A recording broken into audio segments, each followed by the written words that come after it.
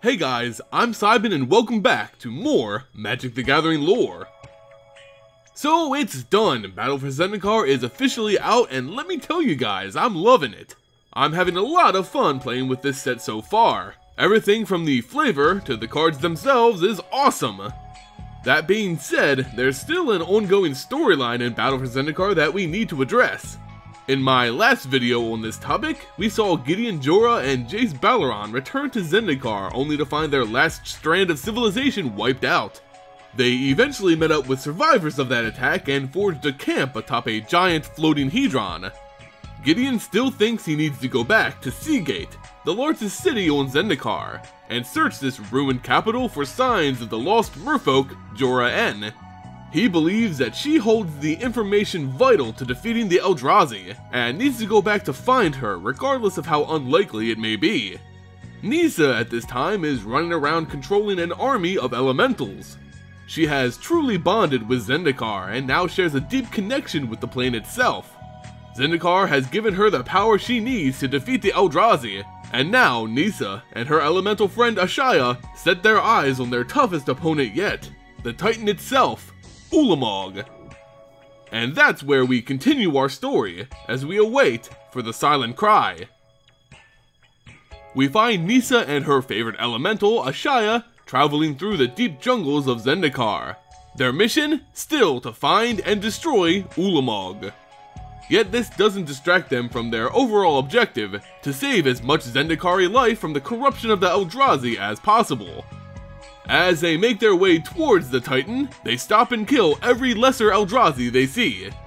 Nissa, through her connection with the land, starts to view things differently.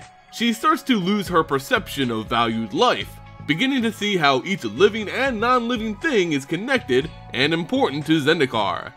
She's willing to risk her life for a grove of trees, just as she would lay it on the line for a group of elves. As she and her elemental friend are traveling, they hear a distress signal coming from a tribe of humans who have lived in these jungles for centuries. They believe this tribe must be under attack by 2 to 3 Eldrazi and immediately rush to aid them. As they arrive, Nissa found that there were in fact 3 Eldrazi present. Two rather large monstrosities slowly approaching the hamlet of tree houses where dozens of humans have gathered to mount a defense, and another, much smaller Eldrazi, making its way towards a grove of trees. Nissa had to quickly make up her mind, which would she and Ashaya help first? She made the decision to help the people first, not because they were humans, but because they were being attacked by two Eldrazi, and two were more destructive than one. Very sensible. These Eldrazi wouldn't be easy to defeat, they were large and more balanced than your typical monster, but they had to do it as fast as possible if they'd hoped to save the trees as well. Nissa and Ashaya charged, using their powers to knock the Eldrazi off their path towards the people. Nissa used her nature magic to pull on the people's treehouse, bending the mighty structure down to the earth. She helped the people escape and find safety behind a rock, which she then covered in a thick blanket of tough roots. With the people safe, the Eldrazi began to make their move on Nissa and Ashaya instead, one of the great twins lumbered towards Nissa, who was still bending the great tree. The Eldrazi don't think as we do, so it probably didn't realize that a bent tree would spring back with great force once released. Nissa was counting on that logic. As it came within range, Nissa let fly the tree and added her own force behind it. As it connected with the bony faceplate of the Eldrazi, it shattered and splintered the Eldrazi's head. With one dead, the pair looked to stop the remaining two, the elemental, Ashaya, didn't realize that the second Eldrazi had slithered its way towards it, and wrapped one of its tentacles around its root-like leg. With a powerful tug, the elemental came crashing down. Ashaya was in a very vulnerable position, and Nissa could sense it. Nissa directed all of her power towards her fallen friend, using every weapon the land had to offer. With roots and thorns as sharp as blades, Nissa dug into the Eldrazi's fleshy skin, ripping and pulling until Ashaya managed to break free. Once back in a position of power, the elemental wasted no time and bludgeoned the Eldrazi until it laid motionless. With these two defeated, Nissa immediately turned her attention to the third which was making its way to the tree line. But before she could move, she and her elemental became surrounded, not by Eldrazi, but by the people they had just rescued. They were all so grateful for her service that they swarmed to thank her. Nissa gradually moved through the crowd, telling them all that there was still an Eldrazi left, but they just didn't seem to care for the trees as she did. Once free, Nissa and Ashaya followed the path of chalky destruction to the heart of the forest, but they were too late. Nothing but ash was left. This was a true moment of failure for Nissa Revane. She felt like she betrayed Zendikar itself and was unworthy of its power. After some sobbing, Nissa pulled herself together and once again, the pair made their way to Ulamog to stop this madness once and for all. As long as they continued to find more and more spawn, Nissa believed they were on the right track. She believed the Titan was probably in Bala Ged, her once beloved home and home to many elves on Zendikar. To get there, they would have to cross the sea, which means they had to go to Seagate. Nissa had visited Sea Gate once before, all she remembered was how big and powerful a place like that felt. Little did she know that this great place had fallen, just as easily as those hamlets would have if she didn't stop it. But her thoughts couldn't continue. She was struck with a great pain, a pain that tore at her side more fiercely than she had ever known before. It must have been an Eldrazi. She looked down, expecting to find a sharp, corrupted blade piercing her, but there was nothing. A second, more brutal pain passed through her and her elemental. Ashaya was feeling the effects as well. This was not a physical attack. Something was attacking Zendikar itself.